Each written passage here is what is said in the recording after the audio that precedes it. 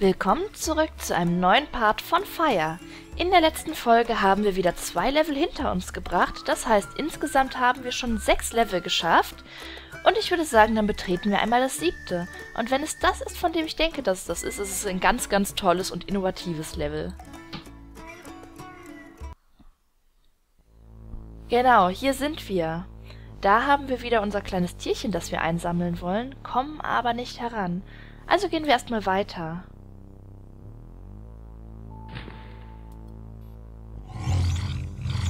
Und zurück kommen wir nicht mehr. Hier haben wir ein schwarzes Loch. Ich zeige euch mal, was passiert, wenn wir hineingeraten. Genau, wir werden hineingesaugt und starten wieder am Anfang dieses Bildschirms. Wie können wir das deaktivieren? Ganz einfach, hier sind immer Planeten und wenn man die Maus da drauf bewegt, dann verschwinden die schwarzen Löcher. Also ziehen wir mal los. Es ist vielleicht ein bisschen langsam, das Level an sich, aber ich finde es echt cool gemacht. Man muss halt immer erstmal herausfinden, wie kann man dieses Level lösen und dann macht man's. Und es ist natürlich auch sehr kreativ alles wieder. Genau, und hier müssen wir diesmal genau andersrum. Zuerst diesen Planeten und dann diesen berühren. Und ja, geschafft. Okay, die Planeten sind verschwunden und hier haben wir erstmal nichts. Also gehen wir weiter.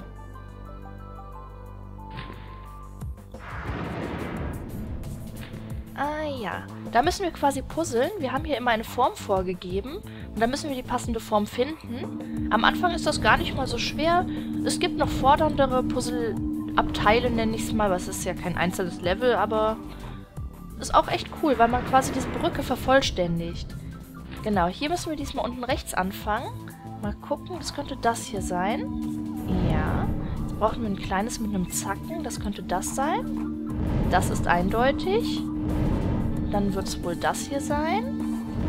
Das große und das hier. Und die nächste Brücke ist vervollständigt.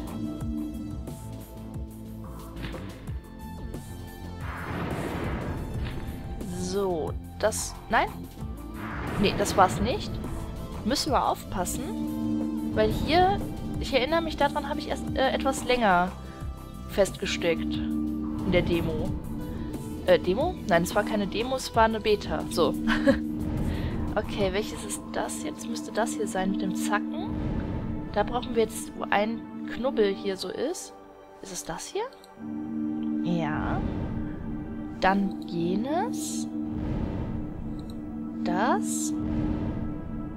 Dann ist es das hier das. Zuerst das hier noch und das hier. Okay. Ich glaube, das war auch schon wieder das letzte von den Puzzleabteilen. Okay. Ah. Mhm. Ein bisschen Space Invaders mäßig.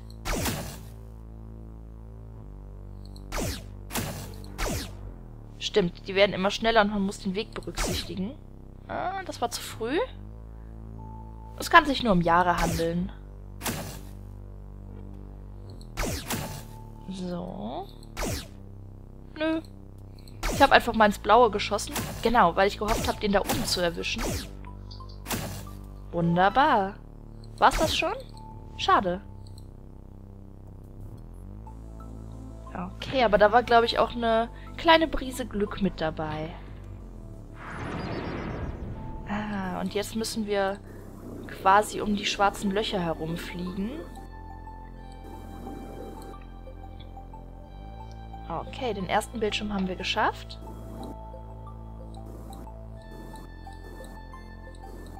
Es ist gar nicht mal so einfach. Oh, nein, gegen Steuern. So. Sehr gut.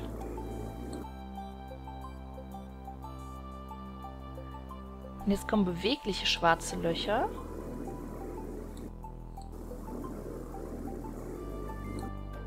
Aber das schaffen wir natürlich mit Leichtigkeit.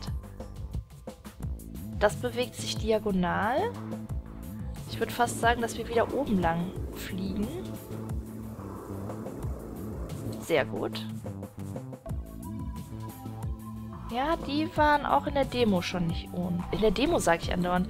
Es war eine Beta. Es war in der Beta auch schon nicht ohne, dieses, dieser Abteil hier. Uh, ich möchte gerne oben lang. Hier runter.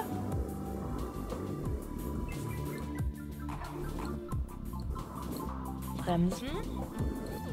Und durch. Wunderbar. Ah, das haben wir geschafft. Wieder ein Leerbildschirm. Wahrscheinlich gibt es hier irgendwo die Münzen versteckt. Da habe ich jetzt überhaupt nicht drauf geachtet. Da haben wir zum Beispiel eine. Die sehe ich. Jetzt, wo ich gerade äh, davon gesprochen habe. Okay.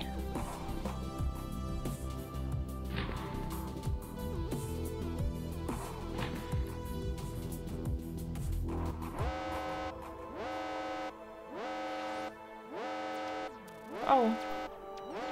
Die Erde wird angegriffen. Aber macht nichts, wir kommen weiter. Ist nicht unser Bier. Oh, scheinbar doch. Oh nein, ich finde sowas doch so schlecht. An diesen Part erinnere ich mich gerade zum Beispiel überhaupt nicht. Ich weiß nicht, ob wir insgesamt alle einmal getroffen haben müssen. Also ob die quasi wiederkommen oder ob das einfach immer neue sind. naja, so, so ein toller Highscore war das jetzt nicht.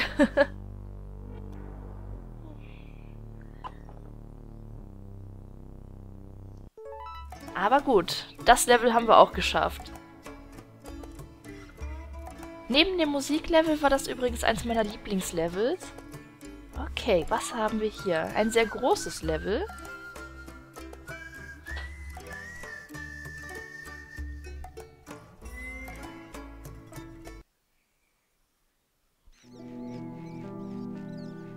Die Musik ist auch wieder wunderbar, total schön. Okay.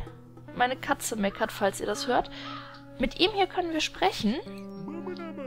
Zumindest so einigermaßen.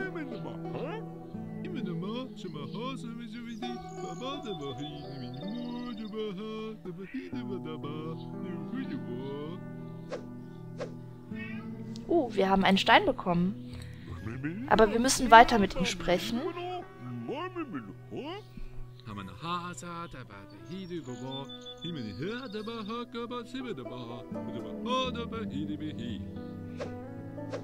Da quatsche ich jetzt einfach mal drüber, weil wir verstehen sowieso nicht, was sie sagen. Und es ist auch nicht so spannend. Ihr wisst, normalerweise würde ich da nicht drüber labern.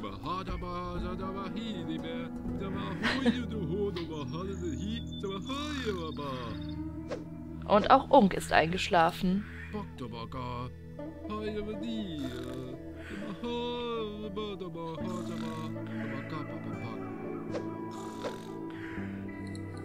Und der beschüttet, äh, über, überschüttet uns mit Geschenken.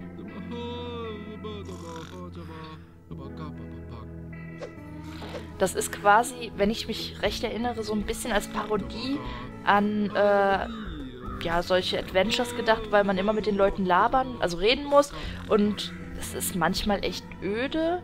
Aber gut, Unk hat sein Schläfchen gehabt und sollte jetzt ausgeruht sein und mit uns weiterspielen können. Und wir müssen eine Frau retten.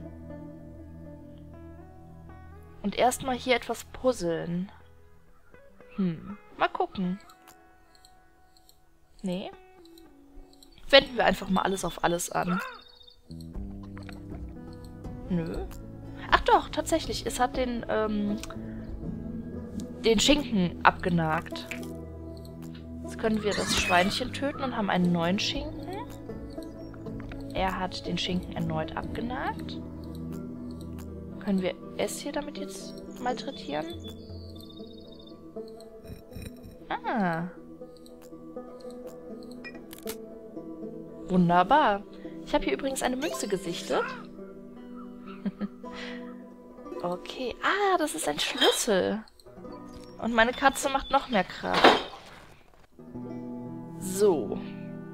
Mal schauen, können wir hier noch irgendwas anklicken? Ja gut, unser Wesen, das wollen wir haben. Mit ihm haben wir schon gesprochen. Hast du noch was zu sagen? Nö, er sagt uns nur, wir sollen die Frau retten. Dann einmal rein in die Höhle.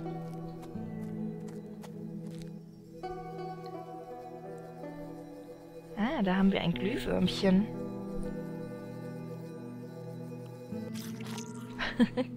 Und es wurde aufgefressen. Aber gut für uns, wir können es nämlich jetzt mitnehmen.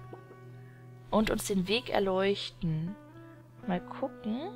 Hier waren überall so Symbole zum Beispiel versteckt. Ich hole mir mal wieder einen Zettel und mal das erstmal ab. Weil das ist Teil eines Rätsels. Ja, so ein bisschen wie ein Pi-Zeichen ist das hier, ja? So, was haben wir da? Ein weiteres Glühwürmchen. Komm mit. Da oben haben wir nichts. Wir gucken gleich trotzdem nochmal äh, weiter, weil hier könnten ja Münzen und äh, weitere Symbole versteckt sein. Okay. Zum Beispiel diese Münze hier. So. Hier haben wir Licht, also kann es weitergehen. Okay. Diesmal können wir direkt mit diesem Wesen hier anfangen. Okay. Hm, wie kam dieses Skelett hierher? Hm. Ah, da haben wir ein weiteres Symbol. Oh Gott, das ist aber gar nicht so einfach aufzuzeichnen. So ein großer Klotz mit zwei kleinen und einem anderen und ein X dazwischen. So ungefähr sieht es zumindest für mich aus. Oh nein, ich wurde aufgefressen. Na gut. Verdammt. Ich habe gedacht, ich würde da durchpassen.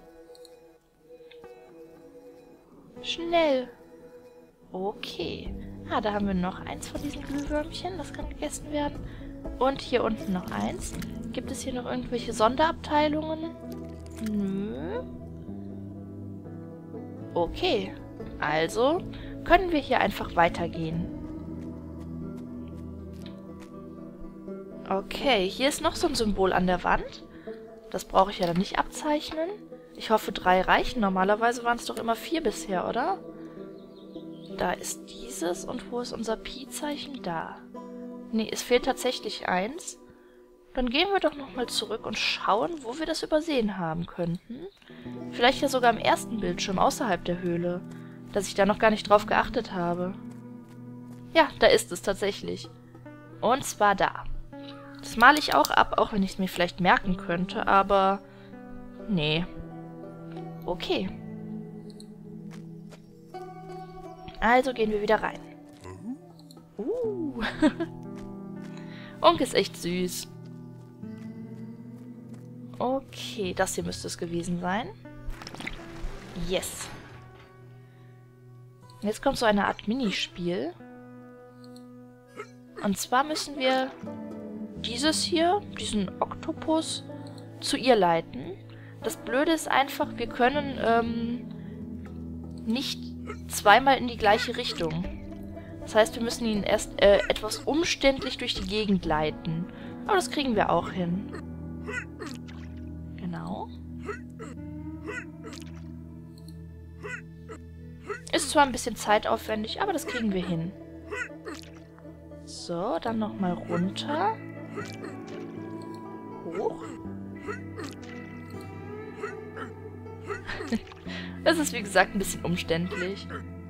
Wäre ein bisschen, ja, schneller und auch angenehmer, wenn man zweimal auf den gleichen Tentakel springen könnte. Aber so geht's ja auch. Kriegen wir hin. Und jetzt kann er die Frau retten. Ach, stimmt. Und die Tentakel ändern sich. Äh, gucken wir mal. Genau. Dann wollen wir einmal hoch, würde ich sagen. Dann gehen wir einmal nach rechts. Nach links. Und wieder nach oben. Dann wieder nach links. Hoch. Oh nein! Ach so, sie sind verlaufen. Aber wir haben es ja gemerkt, wie es äh, lang geht. Da lang. Runter. Wahrscheinlich sind wir zu oft draufgesprungen und deshalb ist es kaputt gegangen. Das arme Tentakelmonster. Es tut mir irgendwie leid. So, gleich haben wir es geschafft. Nur noch ein paar Sprünge sind wir fern. Und ein letztes Mal. So, wir haben die Frau gerettet. Was ist eigentlich hiermit? Können wir das anklicken? Nein, es beobachtet nur. Denn die dritte Münze könnten wir vielleicht sogar auch mal versuchen zu finden, aber... Naja, ich mache ja wahrscheinlich sowieso einen Zusatzpart.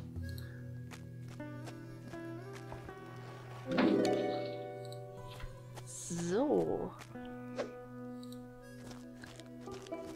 Ah, hier haben wir gar kein Rätsel. Ja, dann durch die Tür. Hier hast du deine Frau zurück. Und wir kriegen unser Wesen.